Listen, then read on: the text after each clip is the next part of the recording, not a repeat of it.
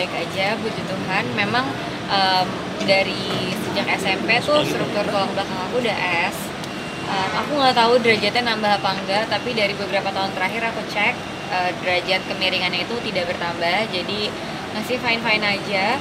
Um, tetap aku harus rajin olahraga tetap harus um, jaga apa ya pola makan aku pola tidur aku karena semuanya itu berpengaruh gitu ya. Jadi aku tetap harus jaga supaya hidup uh, sehat karena itu sangat mempengaruhi tulang belakang aku gitu. Jadi ya paling itu aja sih yang aku lakuin. Sama kalau misalnya uh, udah mulai agak stiff hmm. aku harus um, fisioterapi atau chiropractic lagi gitu. Terapi supaya um, melenturin lagi bagian-bagian yang kaku karena tulangnya bengkok itu. Sama paling olahraga teratur itu juga sangat mempengaruhi sih Oh, kalau sepeda sebenarnya nggak ada hubungannya sih. Olahraga yang bisa membantu supaya nggak kambuh itu kayak olahraga yang uh, apa ya, yang ada stretching gitu kayak misalnya pilates, yoga, berenang itu itu bisa sangat membantu atau functional training gitu yang uh, ya ada pergerakan di bagian badan sedangkan kalau sepeda kan nggak terlalu badannya nggak terlalu banyak bergerak gitu. Jadi sepeda sebenarnya nggak terlalu membantu cuman aku lagi suka sepedahan karena ya awal diajakin sama teman-teman terus nyobain sekali ternyata seru juga dan akhirnya jadi suka deh gitu. Penting banget sih untuk kesehatan kita ya jadi emang harus gitu.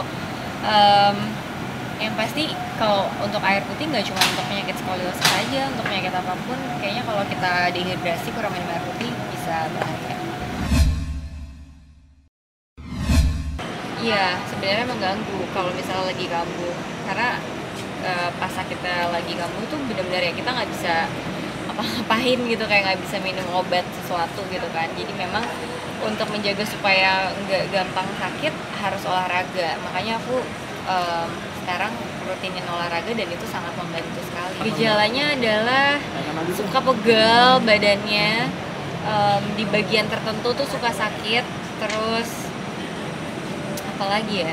Sebenarnya karena karena tulang belakang itu pusat semua syaraf, jadi tergantung kayak dia kenanya ke bagian syaraf yang mana gitu. Jadi setiap orang tuh beda-beda. Ada temen aku yang dia suka sesak nafas jadinya, ada yang jadi gampang migrain ada yang jadi gampang pegel-pegel tangan sebelah kanannya atau kaki sebelah kirinya gitu jadi memang setiap orang beda-beda kalau aku yang aku rasain sih lebih ke sakit di bagian tertentu di punggung aku aja sih gitu. Jadi kalau misalnya aku berdiri terlalu lama atau duduk terlalu lama itu jadi pegel banget gitu. Sempat waktu ke dokter disarankan untuk operasi untuk pakai pen tapi um, aku nggak mengambil solusi itu karena ketika udah pakai pen pasti jadi apa ya badannya tuh jadi nggak fleksibel aku jadi terbatas melakukan uh, olahraga pastinya. Terus pasti jadi kaku dan recovery-nya juga lama sekali gitu. Jadi aku nggak ngambil solusi itu. Kalau sembuh sih sembuh total tuh sebenarnya um, mungkin tapi memang harus rutin banget terapi dan harusnya aku pakai ada bajunya gitu yang bisa bantu untuk melurusin tapi bajunya itu berasnya itu harus dipakai hmm, kalau nggak salah 22 jam setiap hari gitu. Jadi aslinya agak susah ya kalau misalnya sambil syuting gitu kan. Bajunya kan nggak semua tertutup gitu. Kadang pakai baju yang agak fit badan pasti kelihatan banget gitu. Jadi nggak mungkin. Jadi untuk sekarang um, aku masih belum melakukan itu. Paling ya itu sih tadi terapi terapi sama olahraga aja.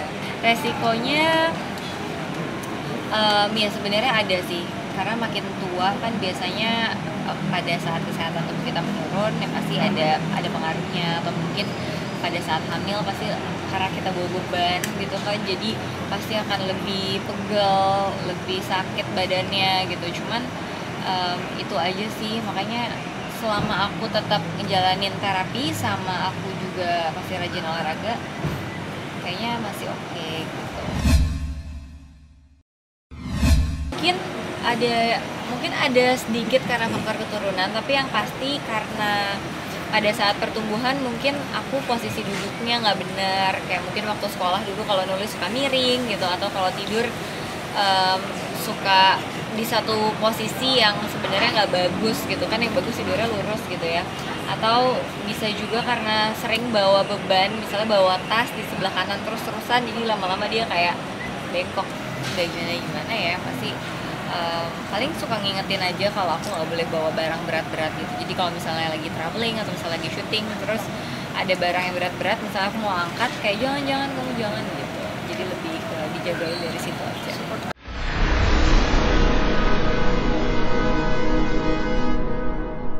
Jadi jangan lupa untuk subscribe Cumi Cumi. Ditekan ya tombol lonceng merahnya.